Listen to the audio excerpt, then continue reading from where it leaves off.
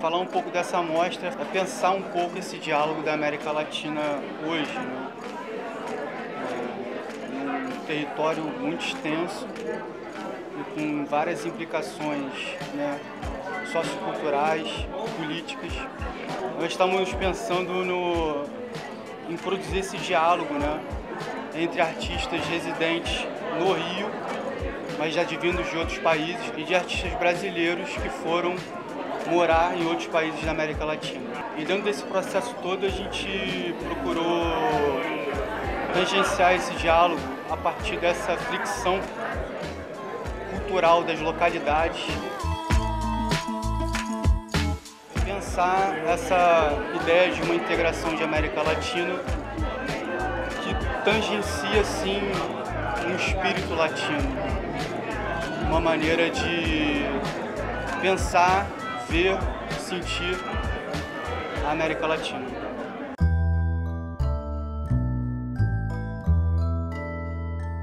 Es un estudio sobre la mineralogía y la importancia de ella en la historia del planeta y del ser humano.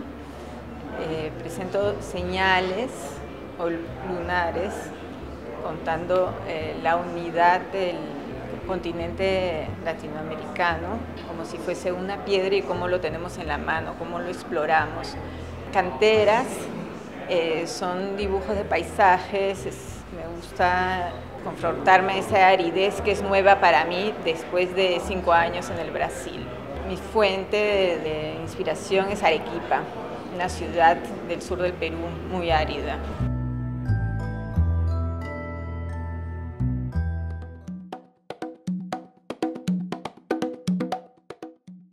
Mi trabajo tiene que ver mucho con el concepto del, objeto y del viaje y la representación que tiene uno en el mundo.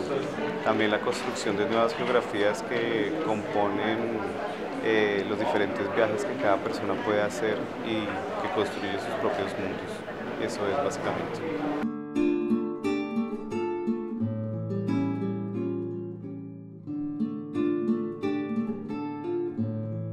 pesquisa para esta exposición se centró en el uniforme escolar público en Uruguay, porque cuando llegué a Brasil y mostré una fotografía de mi hijo con el uniforme escolar, con el lazo que ustedes ven aquí, una túnica blanca, se lo mostré, mostré esa fotografía a una amiga y ella me preguntó, ¿de qué está fantasiado?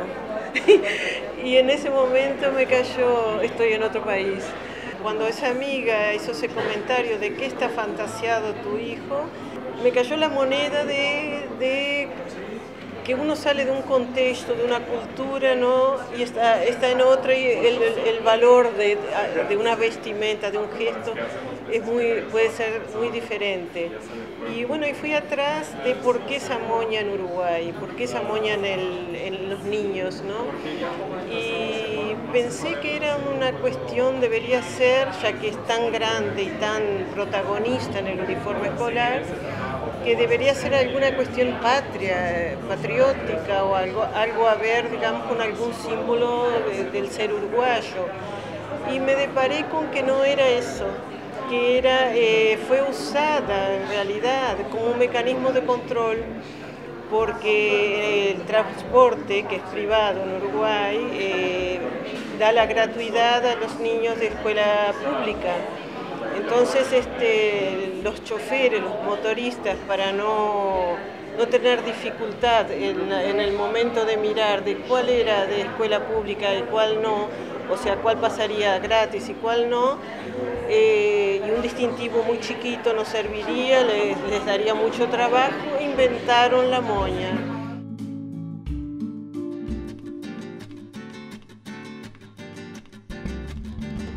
trabajo que estoy presentando en esta exposición consta de dos obras en las cuales abordo la historia de los patacones. Es como si fuera un grabado en lámina de cobre en el cual yo plasmo un dibujo de los patacones y el plátano y cuenta una historia, hablando un poco de forma literaria de ese tránsito del plátano desde Asia, que es original, el lugar de donde viene, hasta América Latina, en donde se vuelve un elemento de identidad cultural. Y también eh, coloco la receta, que es la receta típica que se hace en el Caribe, incluyendo a Colombia. Y es una receta que yo he hecho aquí también, en Brasil, con mucho éxito y genera afectos, algo muy bonito. Entonces, este trabajo es un poco un homenaje a eso, pero también un espacio para darle de forma poética un lugar a algo que hace parte de nuestro cotidiano, de nuestra identidad y que nos conecta. Y en las pinturas yo hago eh, una construcción de narrativa a partir de la, mi pretexto es la edición de revistas, como el contenido editorial, especialmente las revistas que cuentan historias sobre lugares exóticos porque ese es justamente uno de los asuntos que yo toco. Entonces yo cojo ese pretexto formal, ¿no? la diagramación de una revista, las páginas, y desarrollo cinco pinturas como una serie, en donde cada pintura es una, una página arrancada de una revista o hace alusión a esa página, no es literalmente a la página.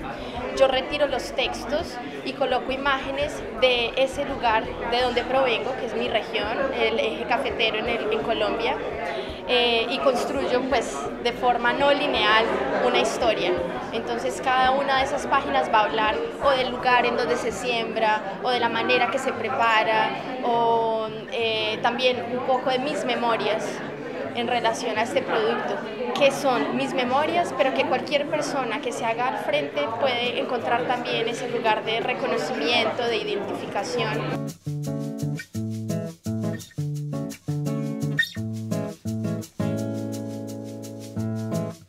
trabalho imaginário.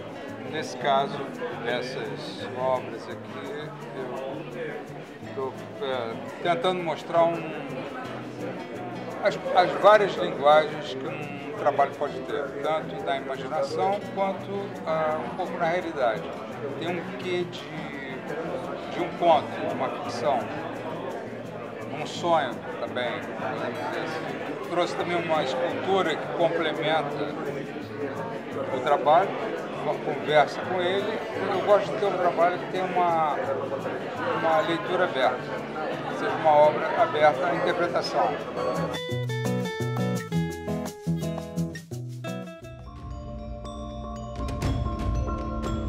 Minha pesquisa trata das possibilidades da arte no contexto da violência e atrocidade da sociedade contemporânea.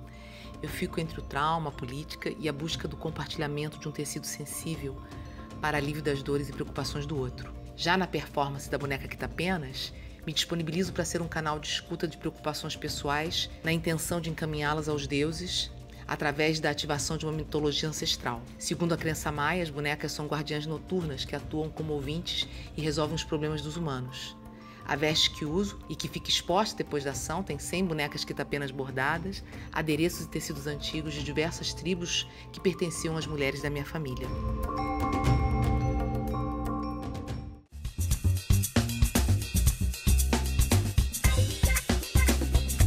São os tios da televisão mexicana, que eu tirei durante uma residência que eu tive lá por seis meses. E a partir da, desse, dessas cenas que eu fui tirando dos telejornais, alguns de, de mídias televisivas, a maior parte, é, eu pintei essas aquarelas. Tem várias, são eu cheguei a fazer mais 60 aquarelas dessa série. E aí foi selecionando, fechando, montando vários recortes diferentes.